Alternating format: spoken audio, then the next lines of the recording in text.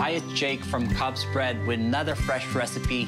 And today's dish is so simple and so delicious. We're using the classic caprese salad as a topper for COBS Cape Seed Loaf.